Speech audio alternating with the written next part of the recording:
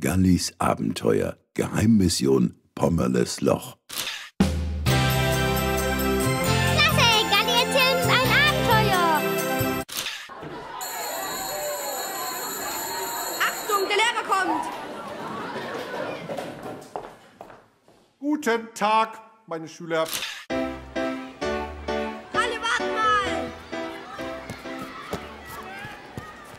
Was ist denn? Mensch, Ralle, hast du das gehört? Das ist meine Chance, dass ich von meiner 5 runterkomme und doch noch versetzt werde.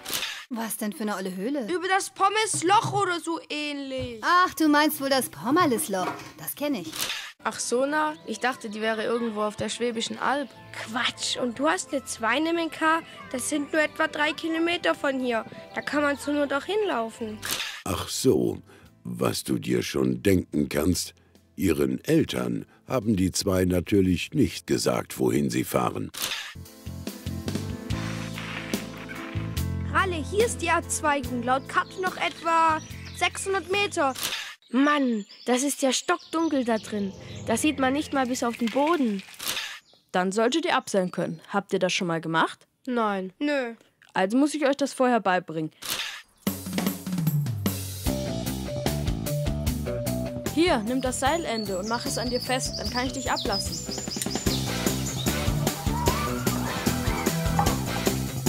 Wow, das macht Spaß. Ich bin unten. Dann mach dich vom Seil los. Jetzt ist Ralle dran. Na super. Da habe ich mich aber mal wieder auf was eingelassen. Mit zwei so Halbschuh-Tirolern zum Klettern. Wow, geil! Und wie das hier klingt! Spinnst du? Hör auf damit. Das ist aber merkwürdig. Was denn? Na, Galli sagt, er geht zu Henning, Henning sagt, er geht zu Ralle und Ralle sagt, er geht zu Galli. Komisch. Seht ihr? Geht ganz leicht.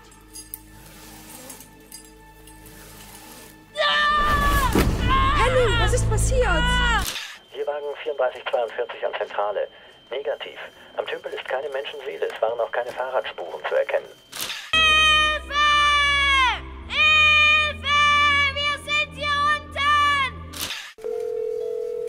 Galli? Nein, tut mir leid, hier ist noch einmal die Polizeiwache. Mir scheint, die Jungs sind noch nicht heimgekommen. Nein, leider nicht. Alles Roger.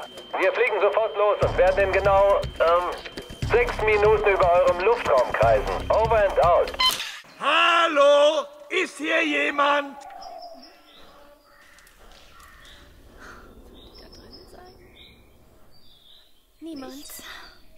Scheint niemand hier zu sein.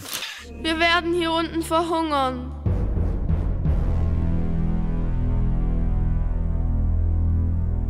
Gallis Abenteuer. Geheimmission Pommerles Loch.